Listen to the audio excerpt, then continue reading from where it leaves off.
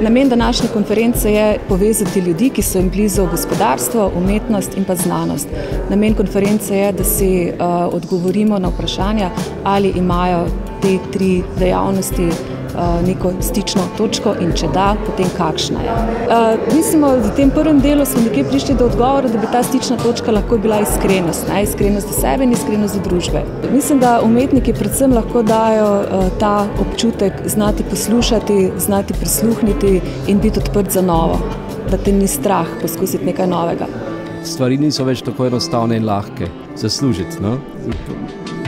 Situacija, kakršno smo se zdaj znašli, jasno ni več eh, rajska.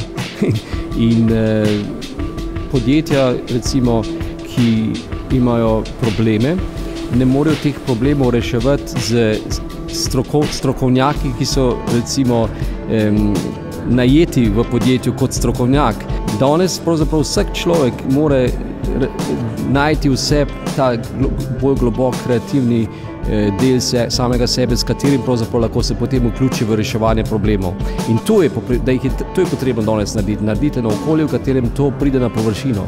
Na univerzah se to zdaj danes zelo raz, um, raziskuje, ta vprašanje estetike in vodenja in tako naprej. Ampak je nažalost to predvsem na, na podlagi raziskovanja. Zelo malo je konkretnih eh, umetnikov, ki to prakticirajo, ki so sposobni to prenesti v realnost. In to ni dosti samo začetni umetnik, moraš biti vrhunski umetnik, da lahko potem to ima vpliv. Razumete? Ker če to samo na, na amaterski način poskušaš vnesti v gospodarske procese, potem to ne funkcionira, to ne deluje.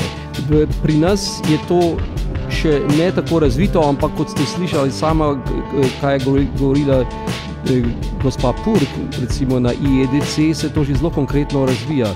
Namreč kako odpirati eh, menedžerjem eh, možnost eh, doživeti situacijo preko, eh, preko umetnosti na, na bolj pristen in iskren način.